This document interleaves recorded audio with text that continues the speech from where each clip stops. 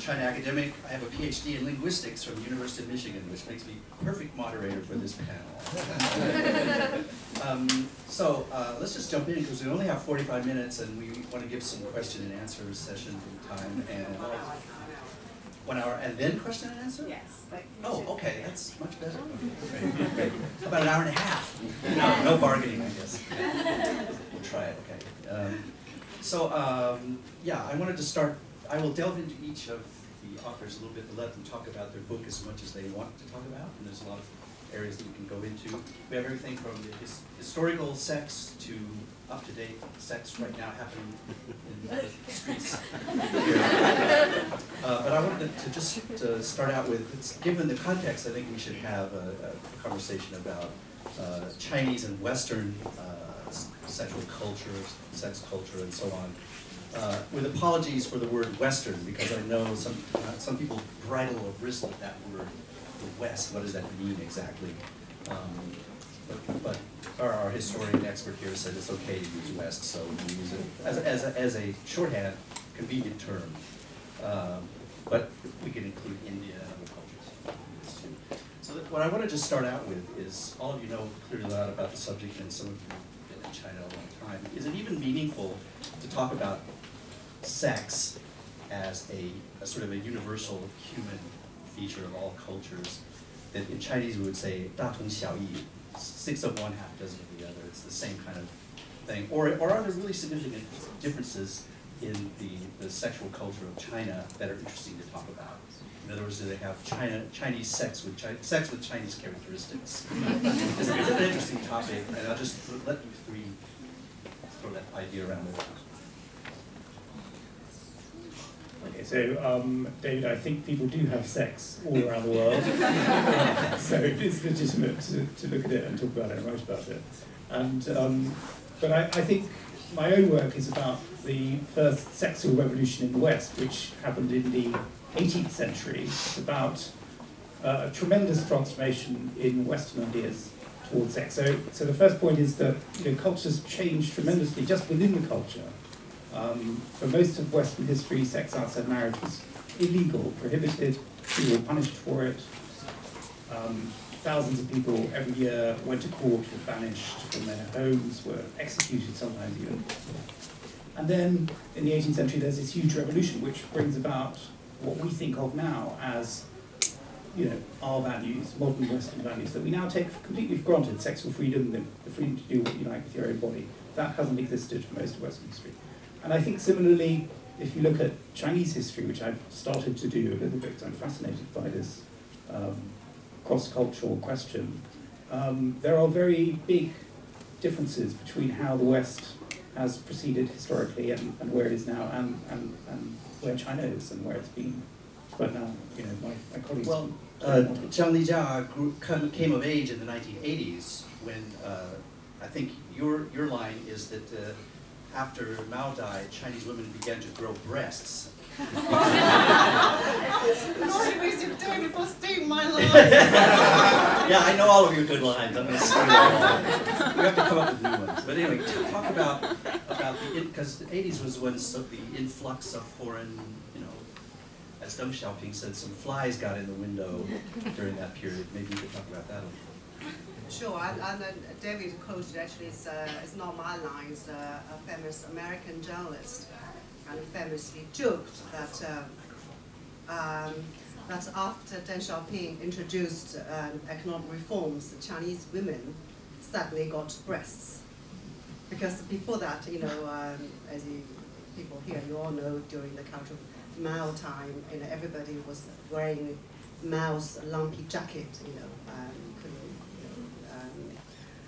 and uh, of course, the, you know, with no dresses, no makeup. So the 80s was a time that the Chinese women started gingerly unbuttoning Chairman Mao's straight jacket and put on makeup, you know, and, and you know, maybe grow breasts, maybe show breasts, started to show breasts. was no no push-up bras at that time yet, um, but starting wearing make, makeup, um, short skirts, and um, and uh, you know, think has um, um, began to um, have um, become more sexually active because before that it was a, you know this uh, asexual culture dominated China. Somehow Chairman Mao maybe thought that if people show too much, you know, interest in um, in sex, then they will reduce their revolutionary passion. Um, Did it reduce his revolutionary passion? That's a separate panel. So anyway, of course, and then China gingerly opened the door. Now, for example, I mean, in the middle of the 80s, there was still discussion. Was a, um, a, a one couple, uh, one man wrote a paper in the newspaper, so disgust to see a young couple kissing in a bus, because like you know, kissing for a long time that's something only we saw in the foreign films, and but Chinese people don't didn't really that didn't show public affection. Um, and, um, and I was talking about Yinhe and uh, this famous uh, sex expert. Um, she did a survey in 1989. the result was 15% um, of people admitted to have had premarital sex. And among those 15% of people, half of them, they're actually legally married, they got a certificate. They were already committed themselves, but didn't have the wedding yet because they needed money and all that to get. And, and a recent survey shows that uh, more than 70% of people, um, you know, admitted they, they have had a um, um, premarital sex. And, um, you know, the, um, the other indicators of the sexual revolution, you know, have started in China. Um, to start with, I think it's uh, safer now to be naughty. Um, I remember in the, in the, in the 80s, while uh, I became a factory worker in 1980, um, a few months later, one of my colleagues was sent to, uh, sent to labor camp because he was caught um, having an extramarital affair with uh, a young married, unmarried woman. Um, but now, you know, you, can imagine that, you know, people, extramarital sex become very common and uh, people have more sexual more sexual partners, and uh, people more far more adventurous in, in the bedroom, um, according to various surveys. So yes, I think uh, I think you, you can say that. Uh, yeah, maybe even if, if anything, the, the what we hear and from Jemimah's book, China might be even a little bit more adventuresome and wild than we think of as the U.S. to these days, which seems a little more prudish to me. Remember, uh, Princeton scholar, formerly Princeton scholar Perry Link, once said that uh, a friend of his, you know, back in, in the 80s, during in your day there, was, people didn't have access to their own room or, or didn't have space to even have sex. And, and he said that one intellectual said to him, until we saw American porno movies, we didn't even know you could make noise during sex. so that's a big revelation. But that, Jemimah, you, your book is all about the rowdy new sexual culture of China. What do you think? Uh, you know, is it, is it, is it fully open now, or is there still some differences? The big, the big question. Well, I would say there's, you know, there's a combination. My book is a lot about my own, I spent a lot of time thinking, living in China, thinking what would my life be like if I had been born Chinese and had been born in a similar background, you know, well educated, middle, kind of emerging middle class, um, urban dweller. And I think the interesting bit was always looking at the sex, going back to the original thing in terms of can you speak about a universal sex culture or are there unique sex cultures? I think there's an overlap, and I talk a lot about where there are the commonalities and where there are the differences. Whether Chinese people are more daring than people in the US, in some respects, yes. And I often, when I'm citing a statistic such as this amount of people are homophobic in China, I often say you know, before you get angry with Chinese people and say this is really terrible, don't think that this doesn't happen back home. So I'm very keen to kind of point out where there is the overlap, at the same time where there are the differences. The other thing which goes to what Lijia is saying is that it's not just about sexual cultures across nationalities, but also across generations. And one of the biggest themes was that Chinese kids of my age just don't have a huge amount in common with their parents. There are some commonalities, there's still an intense pressure to marry, but there's also a huge gap. And I think for lots of young people coming of age now, that's quite confusing. Not that you sit at home exchanging sex tips with your mm. parents. There is a level of you know, my parents still had lots of different partners before they got married. There's an understanding there and empathy there, which isn't entirely shared between the children now. Uh, I have a question back to historical issues. It seems to me, you know, we were talking a little bit in the podcast we did about uh, uh, the, the, the sort of forces of sexual repression in the two different cultures. It seems to me like I have not read your book yet, and I, uh, fairness, this is his book. Is the camera on this book? It's also Chinese. Also in Chinese there, wow. But I, I didn't Kindle it because I think the pictures might be really worth seeing. So I decided, I got the actual book. But um, I think the, the role of religion in the West has had a huge impact on, you know, the sexual life. Uh, I, my favorite quote that- that's related to this is Voltaire, uh, when he, Voltaire, the philosopher, when he first tasted ice cream, he said, but this is delicious. What a pity it isn't forbidden. which, which, you know, I always think religion adds a little bit of that spice to sex. Now the question is, in China, does Confucianism play any similar role as, as the, you know, the pushback, the thing that makes sex dirty?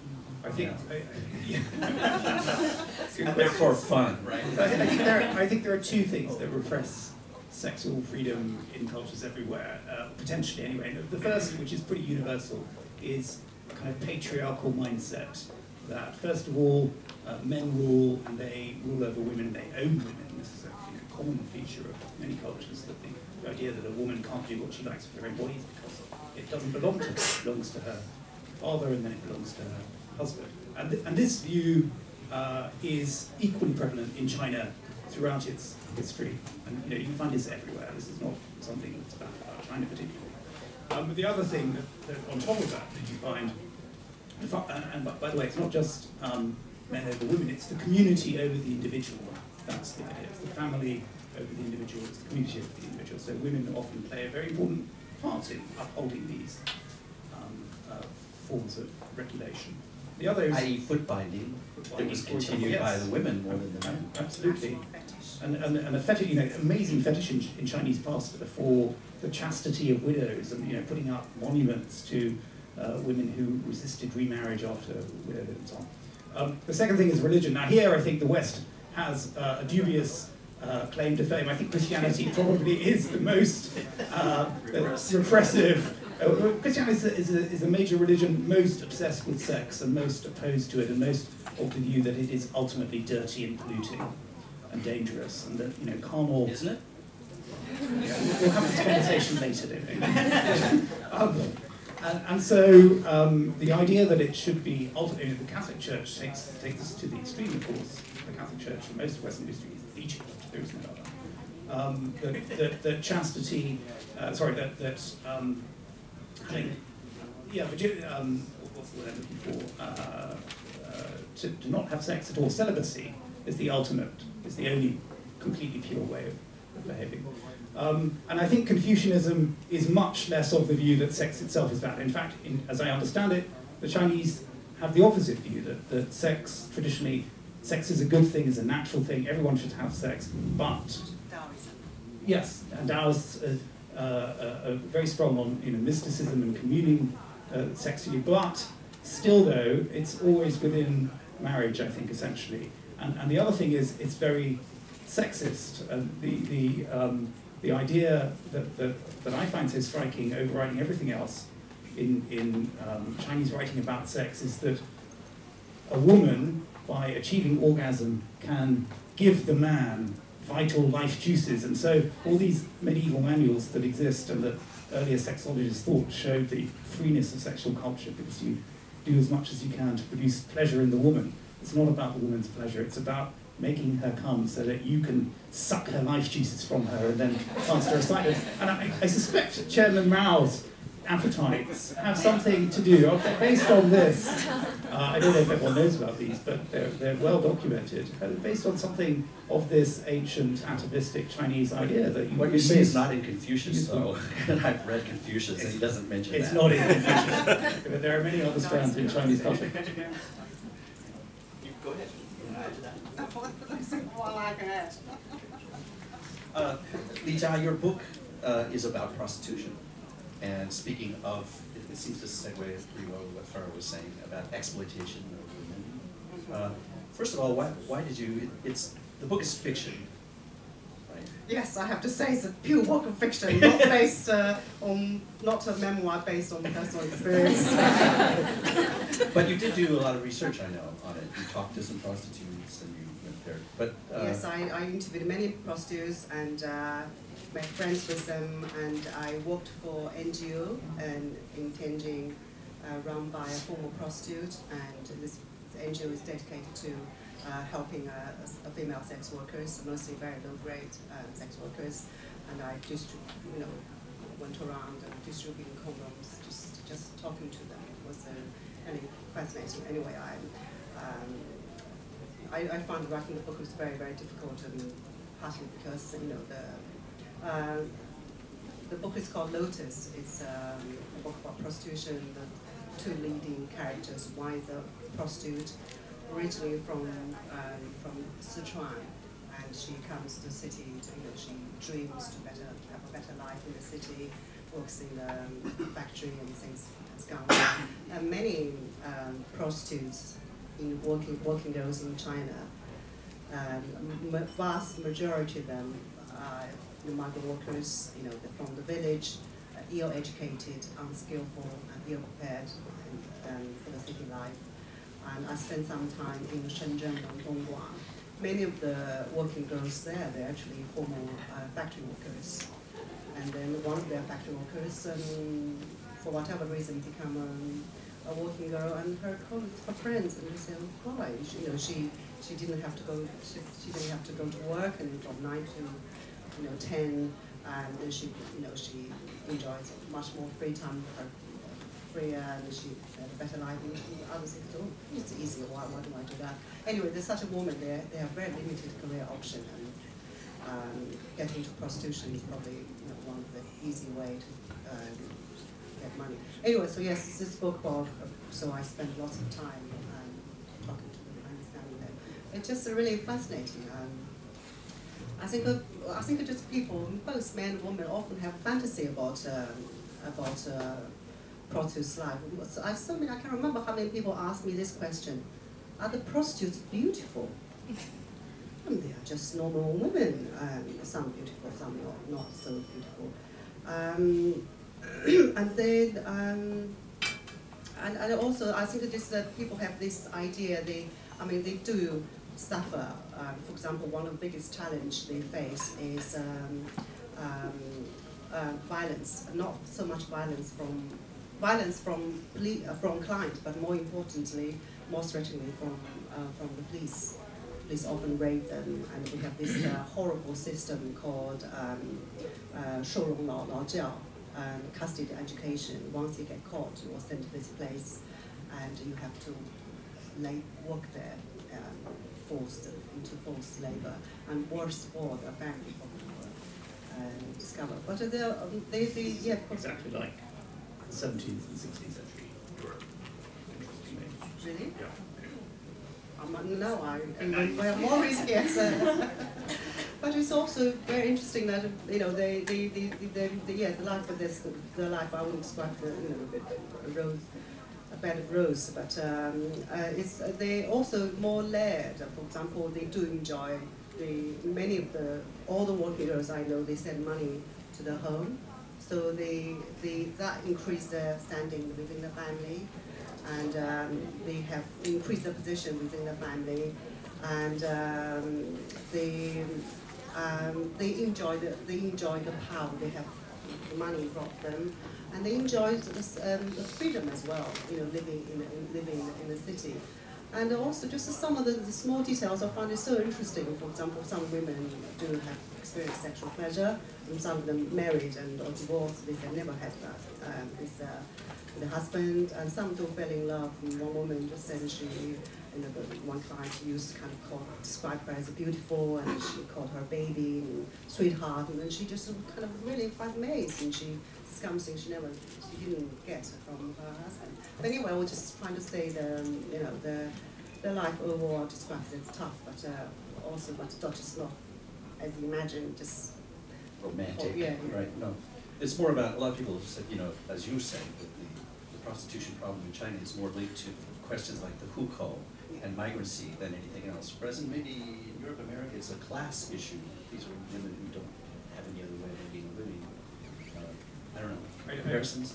Well, I think historically, I mean, prostitution, we all think we know what it is, but if you think about it as the exchange of sex for uh, property, then actually it's very slippery. Similar to marriage. Similar to marriage, yeah, exactly. And, and, and so in, in the Western past, uh, when prostitution was much more central aspect of uh, culture, people grappled quite seriously with the question of whether there is actually any difference between you know, a working girl, as you talk about it, and a high-class courtesan. But really there isn't in terms of what they're doing. It's just in different um, parts of society. I think that the key uh, difference often in terms of different sexual cultures is um, living in the city and living in especially large cities. I mean, in the West, this is part of what creates the first sexual revolution, the first explosion of sexual freedom in practice, and people actually arguing for the idea and the ideal of, of sexual privacy.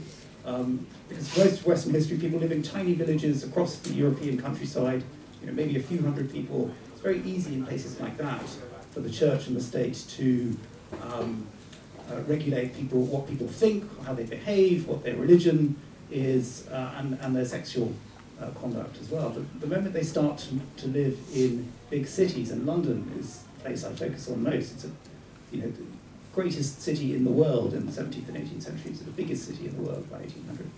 You know, when there are more than a million people living together, that creates a completely different environment and new ways of, of um, living, new ways of men and women meeting each other and communicating, and new forms of media, which are tremendously important. Media explosion in the 18th century as well. And I think um, that creates, well, that creates new forms of prostitution, but that's just a tiny aspect of what it creates in terms of sexual freedom and opportunities.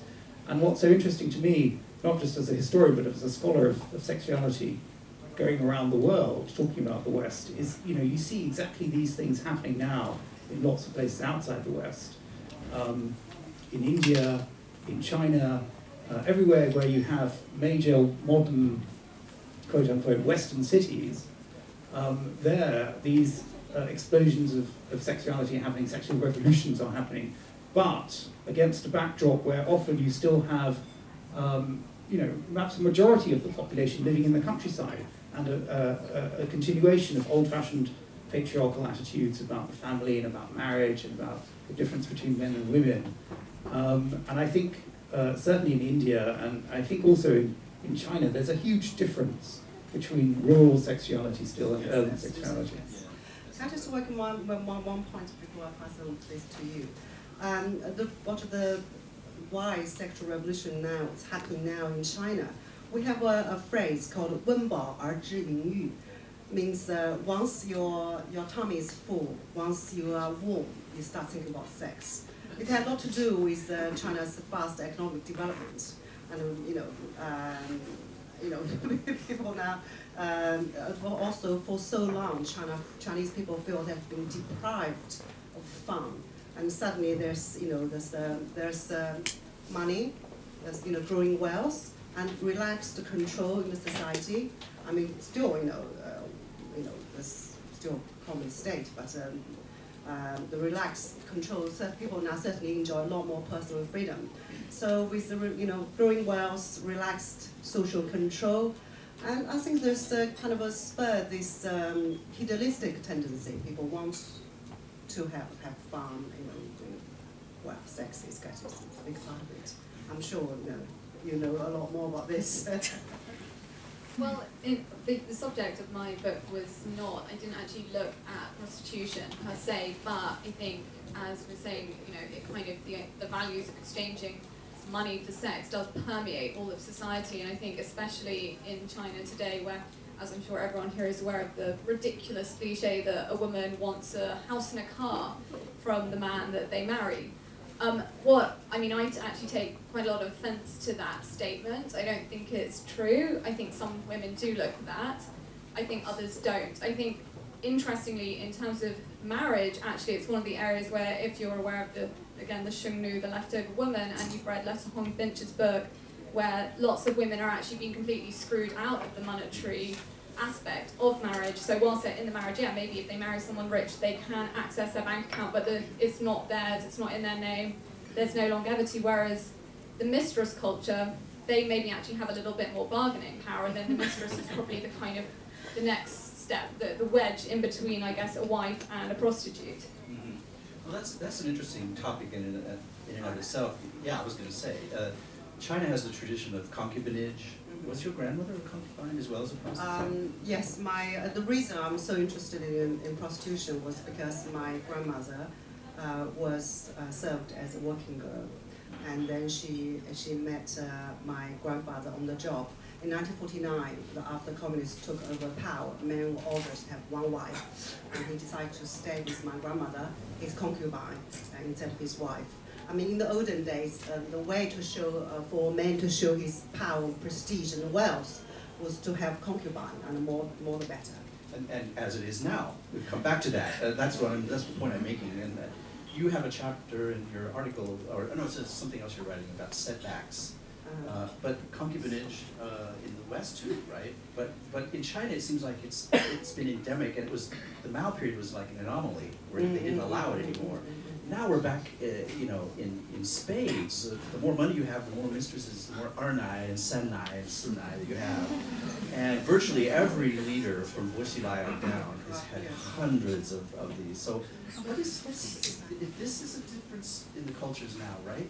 It- you, you may have that in the US or in, in but it's not an open thing, that, that it's not an open. I think um, one- of the uh, one of the interesting things about that is that it has to, do with Chinese, Chinese differences in terms of attitudes to polygamy and having more wives and so on. Now there is a Western tradition of that, but it's it's not a very prominent tradition. Although in the 18th century, when people started to talk about sexual freedom, they suddenly got very interested again in, in polygamy because it's a, it's a way for men to have sexual freedom without women having it. Um, because you, you, the idea is if you seduce a woman, then you just marry her and, and then you have lots of wives.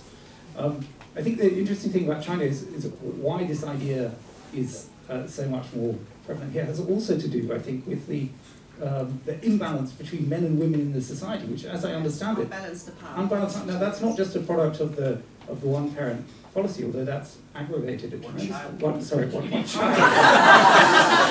Sex education. Even my daughter. Touche. Bit of jet lag. Um, not just the one. Yeah, if you go back to 16, 15, 14 medieval China, there are there is an imbalance in the sex ratio. Even then, people preferred having boys to having girls, with horrible consequences for the numbers of women in society. And so, um, you know, women are highly prized uh, status symbol. By the way, I, I, we're talking about Arne. I, I regard Arne, Arne still as a prostitute because the union, uh, of such union, the base for such union is not emotional needs but money. Well, yeah, to an extent, but I think with the Ernai there is an element of choice. I, mean, I haven't, as I said, spoken to prostitutes, but I would assume that when someone comes to the brothel and says, I want to have sex with you, you can't say yes or no, that you usually, there's, you, that's what happens. Whereas with the Ernai, you know, some of them, some of them actually meet the men in a, within a context of just a legitimate relationship, and then they find out later that they've actually got a partner, by which stage they're already emotionally involved. Other people obviously specifically go out to find married men, but I don't think it's just, it's not always completely straightforward, at least at the start, as to why they're getting together. There's, there's a little stigma in this society, it seems to me. Am I wrong?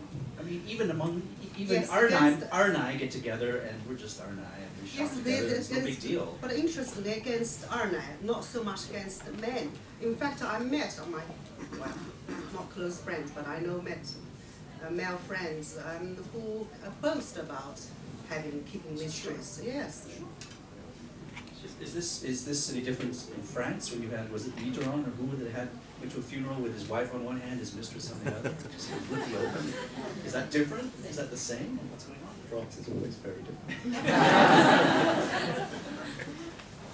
I mean, one of the things I think is really mesmerizing for me about the Ernai and the kind of the prostitution, the sex culture in China is that it's the lots of the women, the wives actually know about it too, and they can sometimes, even if they, some of them don't really like it, but they don't necessarily say anything. Some of them actually openly say, okay, you know what, I get it. If you want to do well in business, this is just the game you've got to play. You've got to, to climb up the corporate ladder. You've got to have other women, and they kind of allow it to happen, which is, from my, you know, I think this is a key difference between they, you know, men cheat the world over. This is something that happens, and also I'd add that women cheat too. But you know, men cheat the world over. But in the UK, it's not really celebrated. It's it's quite hidden. Whereas in China, it's it's the biggest open secret. But that is, a, I mean, that is a historical development that has to do with the empowerment of women in Western society. Actually, you know, comparatively recently, the, if you go back to the 18th century, uh, courtesans are tremendously famous, and men, including men who are married, often want to be seen with a courtesan, have one as a trophy and so on.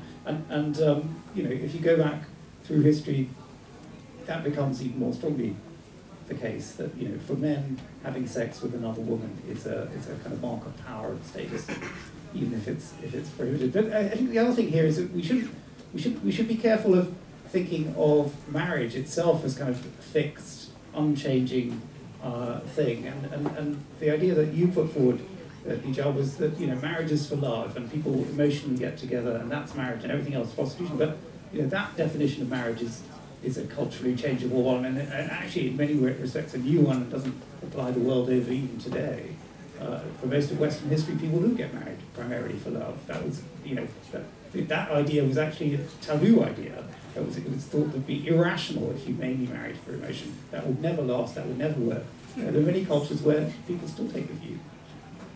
One of the, there are many reasons why the prostitution now has, you know, made a spectacular return. You know, after 1949, Mao really effective, you know, closed up all the, the brothels and educated um, and uh, working girls, you know, assigned jobs. Um, even now, in recent years, um, know, had a, made a spectacular return, and there are, you know, lots of reasons. One of the reasons is that uh, it has become such uh, a normal part of the business practice. Um, I had a, a friend, uh, um, a professor who does business on the side, and uh, his com company is some high-tech company which is entitled to 50% of uh, tax um, deduction, but he would have to kind of a dining, wining officials. Now, you know, that's how you get, you know, get things done. But now, nowadays, you know, have taking them to fancy restaurants is not enough, but often they want to have girls. There are plenty of such establishments, you know, by the sea, on the seafront, family place, have dining and you go to the party, party rooms. Wow, I'm in the wrong profession. let's let's switch topics a little bit, okay? Um, I wanted to because we're getting out running out of time. I want to get into the uh, LGBTQ uh, you know, one interesting thing is China seems to be historically has not had, oh. maybe because it has had the religious injunction against homosexuality. Famous, the Burrs were famously gay, and um, and I was also wondering about this issue of differences in the way it's perceived. On, on, on this podcast we did the other day, we pointed out that in the U.S., if a son comes out to his mom as gay, then the mother will say, oh no, my son's going to go to hell. but in China, if, if the son comes out his mom is gay, the mom says, oh no, my, I'm not going to have any grandchildren. it's very Confucian as opposed to sin, you know. Um, but there's a lot to talk about, and maybe Li Yinhe, we can mention her, but who wants to jump in about maybe, uh, Jemimah has, has a lot in her book about that, I'm sure, right? Yeah, yeah I, I interviewed a lot of um, a lot of gay men as well as a lesbian. I didn't actually interview anyone who was trans, but I spoke about that a lot. Um, one of the most surprising bits that I found was that no one was, most of the men, there was one person who was very, very liberal, had gone to, I think he'd gone to Beida and decided that it wasn't liberal enough for him, even though it's the big liberal university, and had then gone to Stanford. So he was, you know, he's not remotely by any measurement your typical Chinese. The other men that I interviewed I think were more typical, and they just could not come out to their parents. They often couldn't come out to their bosses, even though you know they were completely integrated in the Beijing um, LGBT scene. And one of the things that came out of that was that you know the the importance of the family, and also that it's so much of it is about kind of a performance that you that you can't disrupt harmony. That there's this view that you all have to get married for whatever reason, have kids, and there's not a huge amount of wiggle room within that. Now, as David said, it's not necessarily coming from centuries and centuries of religious homophobia, though in the 19th century lots of religious texts from the West were translated into China and Christianity is obviously growing here, so you, it's not completely devoid of that either, but for the most part it is just this, this kind of core, Confucian core that doesn't, is stubbornly remaining. I think, I, Yeah, I think, I think that's entirely true as far as I can see. It does come from centuries and centuries of, you know, doctrine, and, and whether you think of Confucianism as a religion or not is slightly beside the point. It, this idea of harmony and marriage and, and family as the centre and the be all and end all of sexual practice is so strong in Chinese culture, it kind of takes the place of Christian repression, or, you know, and, and, and it's also not, it is also the case that for hundreds of years, uh, homosexual practices are banned, are illegal in China. First of all, under the king, is that, do I pronounce that properly? The, the kingdom? King? Yeah. That's an English word. but- No, no, quick, quick, Qing, Qing, sorry. Oh, oh, Qing, Qing, I'm sorry. I should, I should have Google translated this. The Qing, the Qing dynasty makes sodomy, sodomitical practices, same-sex practices between men illegal. Now, why do they do that? Um, they don't do that because uh, of homophobia per se, in a in a kind of Western sense. They do that because these are non-procreative practices, and they make the same. Uh, they have the same attitude to all sex outside marriage that's not going to produce children within a family. Um, so it is illegal. And, and now, of course, everyone knows that this doesn't apply to the upper classes. Uh, it's about the population and creating a strong peasant population. But still, you know, it does apply to them. And the, the, the fact that they do this ideologically is very significant. And I think the continuity there into the 20th century is that, um, you know, the Communist Party also takes a quite similar view about sex outside marriage. And indeed, as I understand it, homosexuality was illegal in China until fairly recently. So there is a continuity there, and it is homophobic, but in a different sense and for different So reasons. China was often, I'm talking about recent years, I'm talking about uh, being mental mental illness. Yes. They have Yeah. various ways.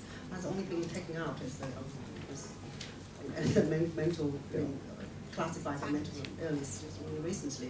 But it's not always the case. In, in you know, for example, in in China, homosexuality is called gepao.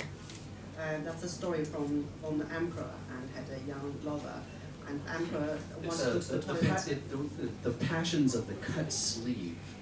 断袖之癖，断袖，断袖之癖， 断袖。Yes, he cut the cut the sleeve. It's a, it's a, fit- disturb the lover. the, so the, the emperor had this, uh, boy lover, and rather than wake him up from, from his nap, he cut his, sleeve of his robe rather than wake him up. So it's, it's a slang term, or it's a term for homosexuality. Go ahead. yeah, but uh, but only yes, it's still I mean it's an ongoing process. I mean among ordinary people, still I think it's uh, something wrong with them. And I if you read stories, only recently there was a story about uh, um, uh, uh, one place offering cure um, electric shock.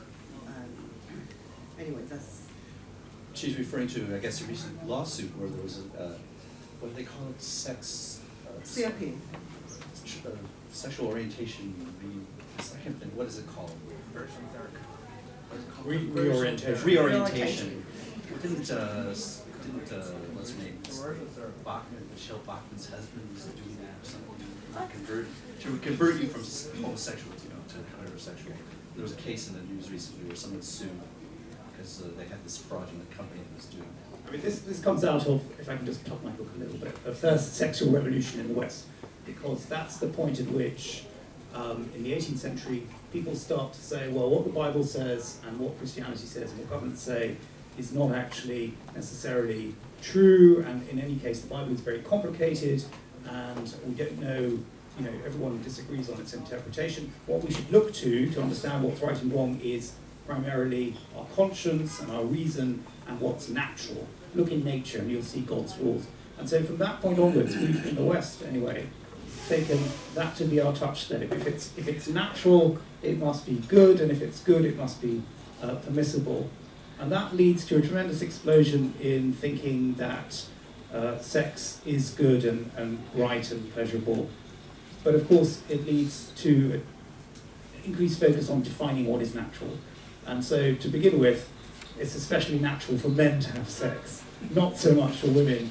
And, and, uh, well, that, that, that leads to very interesting consequences. And that's part of the explosion of prostitution in the West in the 18th century and in the 19th century, when governments start to say, well, men of course need to have sex, it's natural for them, their wives can't have it, what shall we do? Um, and, uh, and so the regulation and the control and the, you know, the huge populations of prostitutes in Western cities are a product of that. But, but, but it also leads to the growing sense that homosexuality is unnatural, and that's a new thing in the 18th century. And from that develops this increasingly powerful you know, public and social and governmental view that it's unnatural and dangerous. It's like a disease, and we should try and expurgate it. And you know, even until the 1980s, governments in the West, in the United Kingdom, in the United States, had this as public policy. What you know, the laws that have been passed in Russia now are very similar to the laws that were passed in the United Kingdom in the 1980s under Mrs. Thatcher. So this idea is is a very powerful part of modern Western ideals. But the other thing that you know I talk about in my book, which is tremendously exciting to have discovered, is that the 18th century is also the point at which men and women who are in same-sex relationships and engage in same-sex activity start to argue and defend and think of their own practices as natural. So you get the first, you know, what we would think of as enunciations of gay rights, people saying, well, you know, this is just as natural for me to use my body in this way as it is for someone having sex uh, within marriage. And, and so the, the origins of, of gay rights also go back to the first sexual revolution. And I think we're, we're I seeing was that. talking about the you know, um, romanticization of a, a prostitute or courtesan, but in China, the, courtesan did have a, a, a special place because for for a long time, I mean, in China's you know throughout the imperial China, um, throughout the dynasties, women, for most part, women were not allowed to socialize, to go out to socialize. So the only way for men to um to have elegant company and um, to, um, to to even pursue love was to to see a prostitute, to, to see a class courtesan. who were trained in can practice calligraphy, play, sing and dance. Um, and some of them become a very influential, become the, you know, become getting to know very powerful people. I guess that's probably one of the reasons people have this romantic idea about prostitute. But the reality, of course, is, um, especially I mean, today is very, very different. Let's bring it up to the present time here, get into the Jiulinghou maybe even, uh, you know, because they're now, the new ones having sex, so they, uh, I, you know, I have a strong impression, I'd like to see what the three of you think. You know, living, whenever I go to the US, I get this impression, you know, like sex is everywhere, it's up front, it's right there, there's Beyonce, right in front of your eyes, but, but it, but it seems to be not particularly sexy, and people have hang-ups about sex, but yet sex is just permeates everything. But in China, you turn on CCTV and there's no sex, and you watch the Beijing bit, no sex. But, but there's lots of sex, and it's really sexy sex. But, but now people are also a matter of fact about it. It's like, yeah, whatever, it's no big deal. I mean, I remember in- even in 1999 or something, I was watching a Beijing TV show, and there was a sex expert, it was kind of like the Dr. Ruth, if you remember her, you know, of the time. And it was a call-in type show, and a man was calling in, and he said, yeah, I'm 55, and I find that, you know, I'm not perf- performing very well, know, I don't really know what to do about it. Is there a way, some, some help I can get? And this woman said, 55? What, what are you worried about? You've had your time. You know, relax. You know, men just, just go on to something else. you know? And I thought this would never happen in the US, but it, it was sort of a, a refreshing, realistic attitude. So I can just, So what do you think? Can I just imagine um, the, um, you know, the STD, the, the group affected the most, uh, grow, uh, growing, the problem growing fastest is um, um, among elderly men in China. Good for them. Is that because they're having sex outside But marriage? that, that's because they're having sex with ernai, probably. Things- uh, Anyway, can you comment, maybe just talk, and, and maybe Jemimah, Can I since just, your book just finish, is. finish, finish this and sorry, deal sorry. with old, old, older men?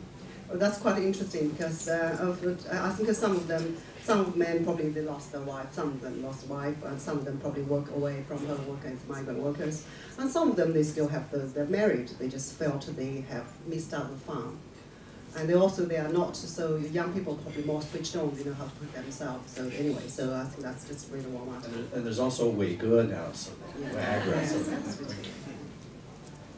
I think probably I'll start with an anecdote in this respect. I interviewed a man called Victor who he's about 26, 27 now, so I guess he's kind of, he must be on the cusp of Balinghou, Joling Ho. Um, and he is trying to set up a sex toy company because, and to quote him off the top of my head, he says you walk down the street in China and everyone appears really innocent, but actually, no, they're not. They're all really kinky and they're going to buy my sex toys. so, Lots um, of sex toys are produced in China, as you probably know. and actually, he wants to import sex toys, interestingly, because he thinks all Chinese sex toys are going to explode because they're faulty. and so that's, that was his. Explode on the market, you mean explode in people's bedrooms. So that's that's Victor's um, niche, and you know, yeah, good luck to him. I, but I think that he is onto something there, where there is the people are a lot more experimental in the bedroom. And recently, there have been quite a lot of surveys about a, a male erectile dysfunction in China being quite high. And I think what's quite telling about this is that it's not necessarily that the problem's increasing. It's just that because people are becoming more sexually experimental, because they're becoming a lot more open about it, you know, people want to talk about these things. They they want to really start to have experimental lives. And I think it's a it's a really good thing in my opinion because lots of people I spoke to about the rampant mistress culture, one of the things they said it, it's a mixture of kind of you know the, the business policies that go on, but there's also an extent to which the older generation were married not through love and and so they don't necessarily really want to rip off the clothes of their partners. So so you know I think it's it's behind closed doors and I guess what will be interesting to see is whether that translates. I mean at the moment what CCTV are trying to get rid of um breasts. But there's also, So- but there's also a huge amount of ignorance. I think there's a survey indicated some 60% of people don't know where the clit is. Uh, you know, Don't try the US, I'm not so sure. At least they're talking about it. That's, that's the interesting thing. But yeah, I think the ignorance, that is one of the, the things that's really troubling is they are becoming more aware, but they're not necessarily becoming safer, and that's why there's surging STIs. There's, there's, there's a sex shop on every street corner in Beijing. What's that all about, Jemimah? Tell me. How, that's not the case in, in England, right? No, definitely not. In Right, fact, so actually, why? they're trying to um, get rid of all the sex dolls in Soho in London, which everyone's quite annoyed about. so it's the, the gentrification of London. Um, but what are all the sex dolls about? Well, actually, one of the things they sell, interestingly, little twisters. they sell hymen repair kits. So it's not, again, it's not all just about let's let's sell sex. It's also kind of sometimes can filter into going back to these traditional values of women in certain roles, men in certain roles. I mean, that's a lot of the sexual culture in China is about upholding you know, male power over women, I think. It, it, it, you know, everything we've been saying about the mistress culture and, you know, business, the, the presumption in all our talk about sex and business is business is what men do. There aren't any women there. And, and you know, I think one of the differences and what, why in the West you don't see so many sex shops and so on is partly to do with the internet and, and access to that and people buying things there. But why you don't see so much over prostitution is because there's a more sexually equal culture in which sex is something that women, as, as much as men, are able to value and, and take pleasure in and assert. You know, the, I'm, I'm often asked about Fifty Shades of Grey, um, and, and, and my stock response is, I, I, I wish I'd read it, I just hadn't had time, but you know, it's, it's, it's, a, it's a very exciting, thank you, it's a very exciting thing to see lots and lots of young, well, women of all ages sitting on public transport, in buses, in trams, and trains uh, across the Western world, reading really badly written, horribly schlocky soft porn. It's, it, it's exciting because it's a sign of female empowerment. It means these women say, you know, fuck off, I'll read this in public. That's what I'm about. And I will have a minor orgasm here on the underground at half past six in the morning whilst I travel to work because I can do. And I think, you know, we've got a long way to go in the rest of the world before that happens, but it's a, it's a good and, and, and, and empowering and positive sign. It just occurs to me, we're talking about sex. Well, we're sitting here in the broad daylight. Where is Fifty Shades of Grey? Yeah, I went to, I went to India to do uh, to talk about books and things, and they had a panel, and this is you know characteristic of, of Indian sexual culture. They had a panel on erotic fiction, and they had put four middle-aged men on the panel. and, you know, and I emailed him in advance saying, "Don't you think we should maybe have some women on?" And, and, no, you know that because you know that is such a sexist What do they know culture. about sex? Exactly. Exactly. The audience was full of women who'd read Fifty Shades of Grey. it's a very tricky situation. Um, I don't know. I just, uh, I think um, for you know, for you to writing about sex and non-fiction must be a, a pleasure. But I, I find you know writing about sex, sexing in fiction is just bloody hard work. Do more research. That's my, answer. but there's only such Yeah, a amount research. of such amount of research you can do. But anyway, I find it that. May- may- Maybe just one final question, unless you, you- you folks have something else you want to talk about. Uh, You know, and Zhang Lijia, you would know something about this, when the eighties, when suddenly, you know, things changed, you started getting influx. Are we, are we looking, I mean, I'm thinking of the Jiulinghou, you know, they're, they're very westernized. They watch Big Bang Theory, they watch Walking Dead and everything, uh, they know it, and they're, you know, uh, when I see my students who are American, 18, 19 year olds, these people, they're on the same page, basically. Are we seeing a future in China where sexuality and sexual mores and blend seamlessly into a world multicultural sort of, or, or is there, is that unlikely? Yeah, we're gonna, is, is China always gonna have this very distinctive sort of, or is it gonna become just westernized? That's right. Yeah, like, Zhongguo You would know from that, from your. I mean, I've, yeah, I've actually been asked this once before, and my answer to is I re- really hope not. I think it'll really be boring if we all start looking the same.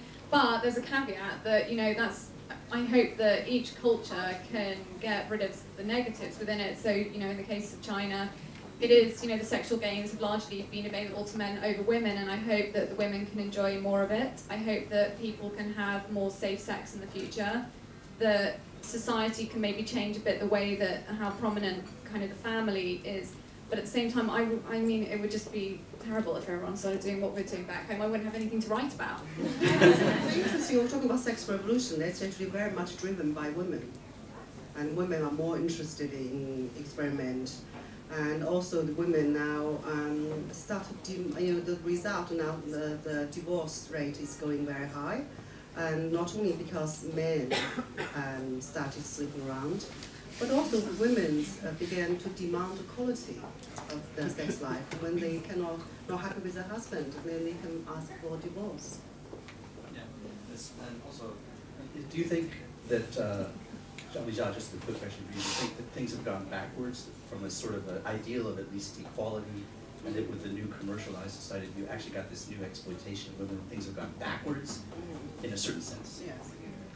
Yes, I certainly, yes, I think the um, uh, reform brought a lot of opportunity for, to both men and women, um, but also brought, uh, you know, setbacks. We're talking about, uh, you know, the, um, uh, the growing prostitution and growing phenomenon, uh, phenomenon of ernai.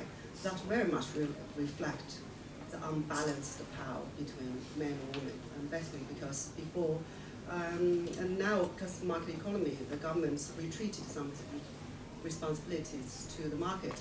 Um, but the market does not always um, look after women, you know, treat women with kindness. Uh, for example, women, um, female students now have much harder time finding employment.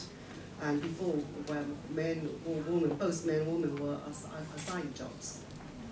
And, and the income gap between men and women also widening. That's also the reason spending some women find easier to find marry well or have become mistress of something.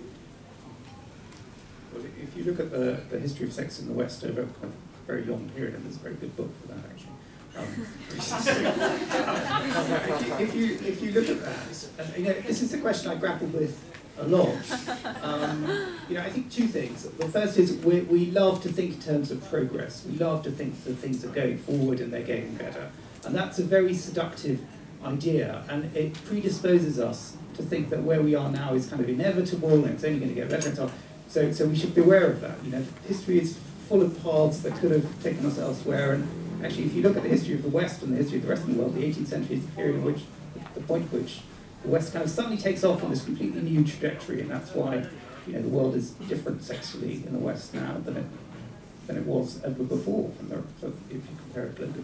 So that's the first thing. But the other thing is, I do believe in progress in a different way, which is that sexual freedom is better than sexual repression, and having individuals being allowed to do what they like with their own bodies is a good thing, and not having the state and the community and the family imposing communal values and policing those and repressing people, punishing them is a good thing, and I think that's better.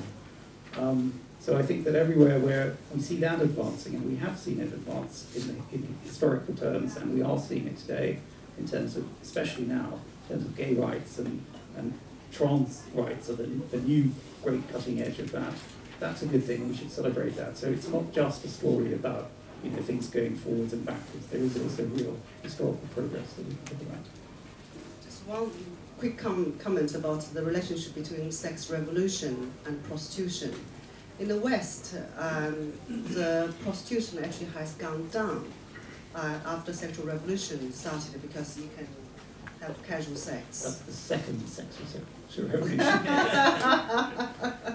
but in China, it seems different. I mean, we have both explosion of, um, um, you know, prostitution yeah. and sexual. Well, I think that's because, as I, as I tried to say earlier, because it's the lack of sexual equality in Chinese culture still. I think as women and men become equally empowered in, in China as elsewhere, you probably will see the decline of prostitution. But it, you know, it's a long-term thing. Well, China has its guoqing, right? Mm-hmm. National characteristics. Chinese characteristics. Chinese characteristics, right.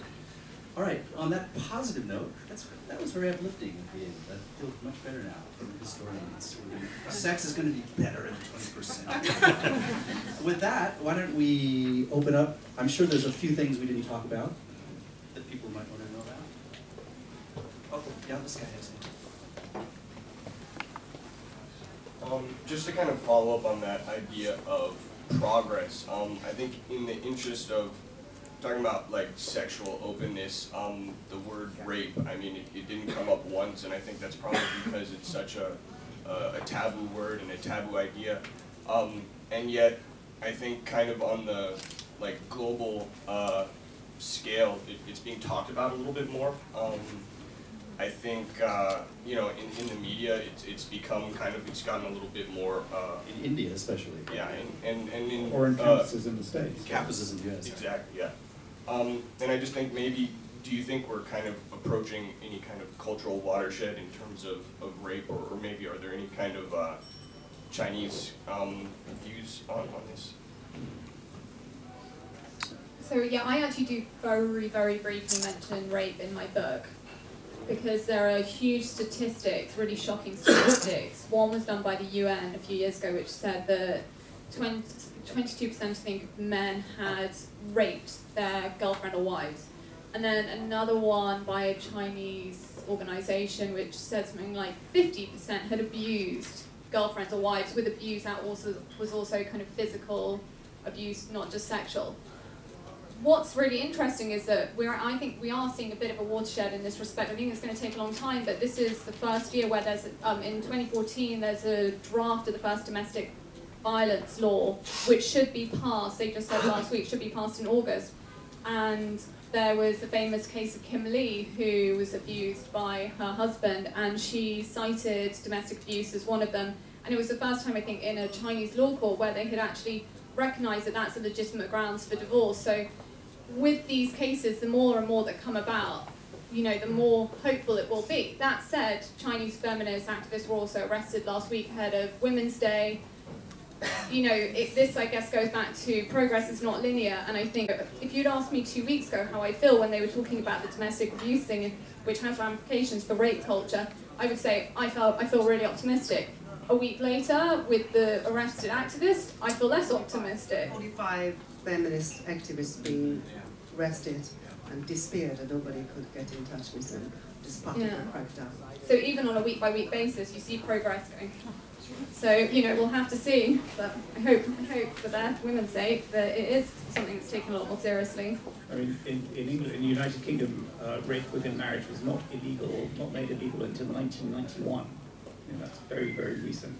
So I, I, you know, just as a general point, or two general points. One, one is the more people speak out against rape, the more it's a sign of female empowerment. And you see that in India, you see that on campuses in, in the United States, uh, you see that, I guess, I guess also in, in China. The other point, which is a harder point, a more difficult point, is that the definition of rape is historically changeable, is contingent.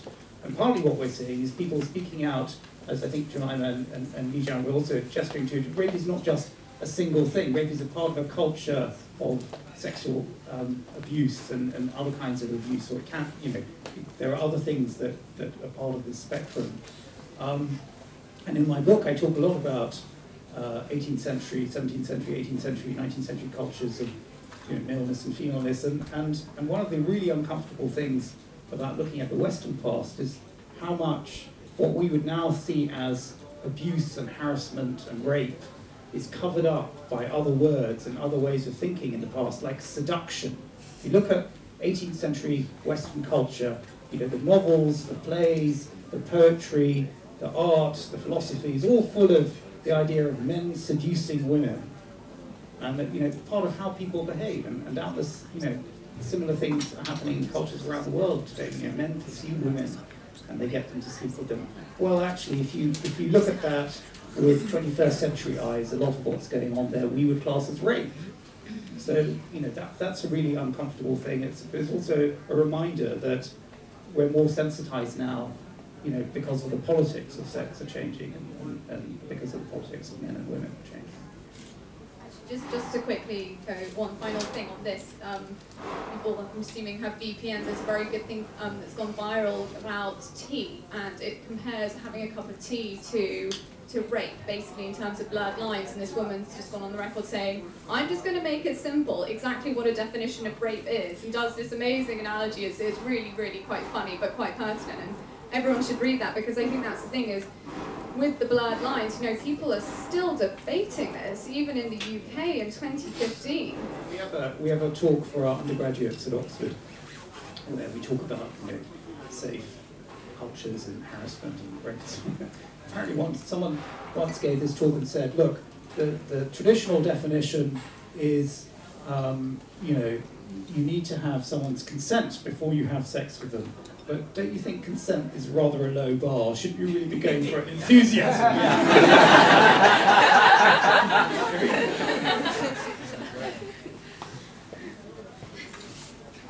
Two quick questions. Uh, the first, I'm curious if the anti-corruption campaign has affected, you know, the mistress and business sort of connection, because um, I think that would be really interesting if that might be pushing it forward so that it's coming down some. And then, um, secondly, I'm curious, Jemimah, um, what you found is sort of the most intriguing way in which Chinese um, sexual revolution is more adventurous than the West. Well, going to the second question, I don't know if the Chinese sexual revolution is necessarily more adventurous, if we're kind of using adventurous in a basic lots of different positions, threesomes, etc. kind of way. Um, I haven't necessarily seen evidence of that. Um, I think it's just as interesting. I think it kind of manifests in different ways that we've been discussing. But yeah, I'm not.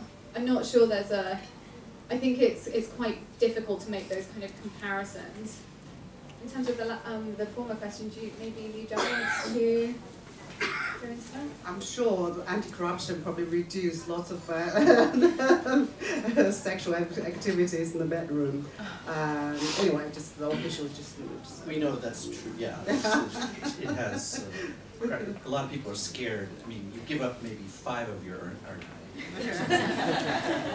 so I don't have a very direct response to this, but I was interested when my book was translated into Chinese. It has lots of great pictures, as David said and they're also available in the Kindle edition. So but not in color. I have a regular Oh, sorry.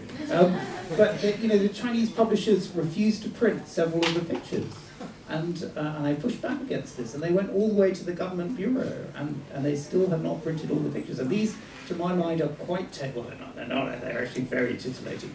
Um, but but there are eight, there are 18th century black and white engravings. You know, it's, it's, not, it's not it's not, uh, you know, online pornography. So I, am interested in, you know, this can't be publicly uh, published in China by a reputable press store. That, that's interesting.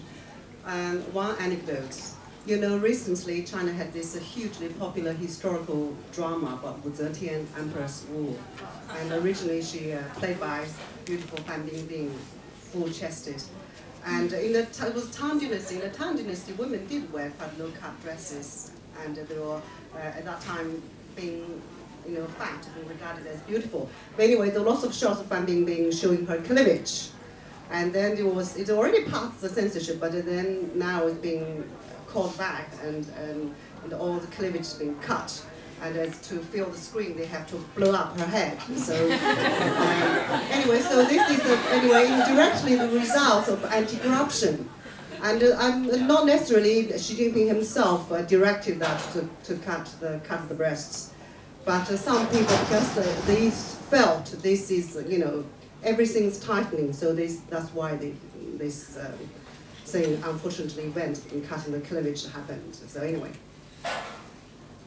Maybe, uh, maybe just one more question, what's this? Uh, thank you. I'm happy to be here, listen to you guys, and really refresh my mind. And I'm a local Chinese, first of all. And uh, uh, actually, I heard about the, the words about ernai prostitute. I think that's really normal in China. I know we know that. But actually, one more thing. Actually, women they're seeking for other men too, within or without marriage. For my wife, and uh, I'm 18.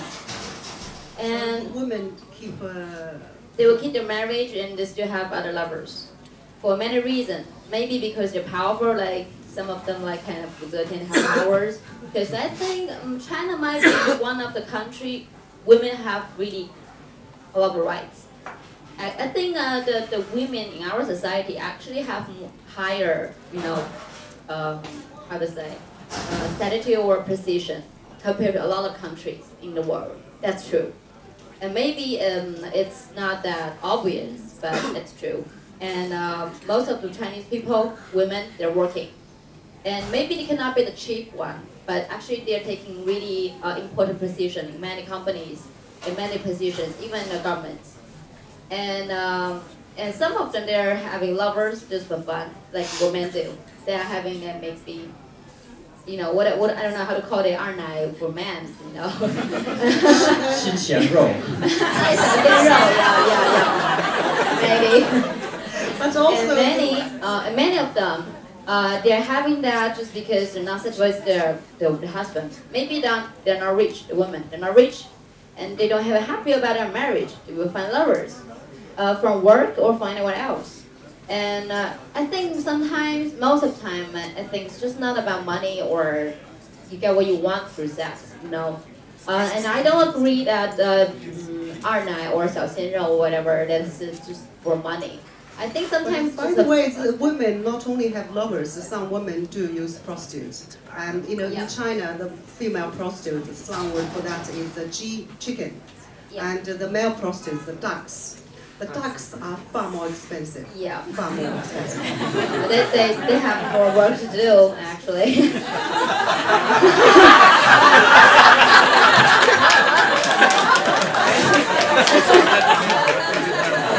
oh, what my point is, what my point is, actually everybody is trying to seek for fun, from sex, and from the, uh, you know, the same gender or the other gender.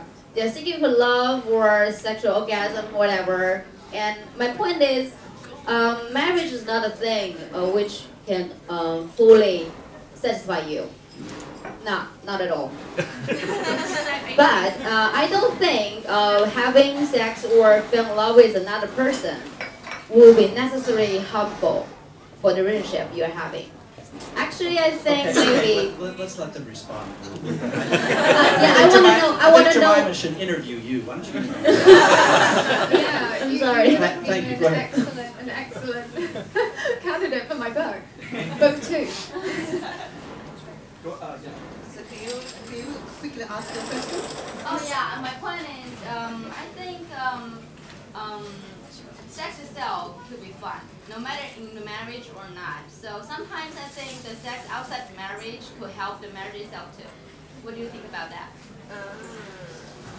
I I, I, I can give private personal relationship advice later. So anyway, I, I, I, I don't. I, well, you know, it's it's it's a it's a it's a point of view, and people throughout uh, history and in the present have taken that view, and other people not. It depends on you know again what what people seek from marriage. If you think marriage in the West now, the ideal of marriage is two soulmates who find each other and find everything in their relationship.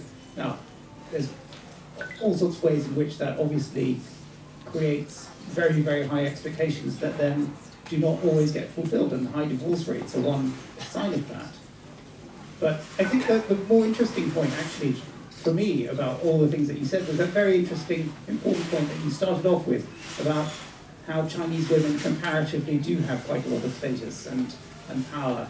And I think that is interesting. If you look at the world today, that's certainly true. Um, I'm thinking in India, that's not true, and, and especially it's not true across the Islamic world, where you know the, the sex differences are much more marked, um, not just sexually, but in terms of power and the ability to go out to so on. And I suppose you know this is one way in which communism has made a huge difference in China. It's, you know the, the ideal of sexual equality, whatever it means in practice, is so strongly part of socialism and of communism that it made a tremendous difference to women in, in, in all communist states. And I just say it goes back to the 18th century because you know, that's the point at which the first radical socialists started to articulate uh, ideas about uh, equality of all kinds. So the first uh, women Mm. You know, the, the, the first uh, people who advocate sexual freedom, both for men and for women, are radicals and socialists around 1800. Uh, and you know they believe in free love for both sexes. There's some wonderful passages in my book about that. So um, yeah, I absolutely take your point, and I don't know what anyone wants from their own marriage, and I can't help you with that. So. All right, uh, I think that's all the time we have, right? Sir Darcy? Okay, so let's give a big hand to our panelists. I think they're really great. They were all found. That's for Lijia Zhang's book Lotus coming out next year, maybe? No, in February 2017. Wow, too much. That's, that's, that's, that's gratification. I want instant gratification. And Jemimah's book? In the back, okay. So uh, buy their books and thank you for coming. Hers when it comes out. And, and thank you all for coming and go home and have safe sex. Um, if I may add a last point, uh, several of our speakers today are also giving other talks during the festival. Lijia Zhang is sadly finished, this is her last event, but uh, Jemimah is giving a book talk on her book, Little Emperors and Material Girls, on the 23rd, Monday at 1 p.m. Uh, Faramerz is doing two talks. He's on another panel about research, inquiry, and the writer's work on Tuesday the 17th, and on, at 1 p.m., and on the same day about his book at 6 p.m.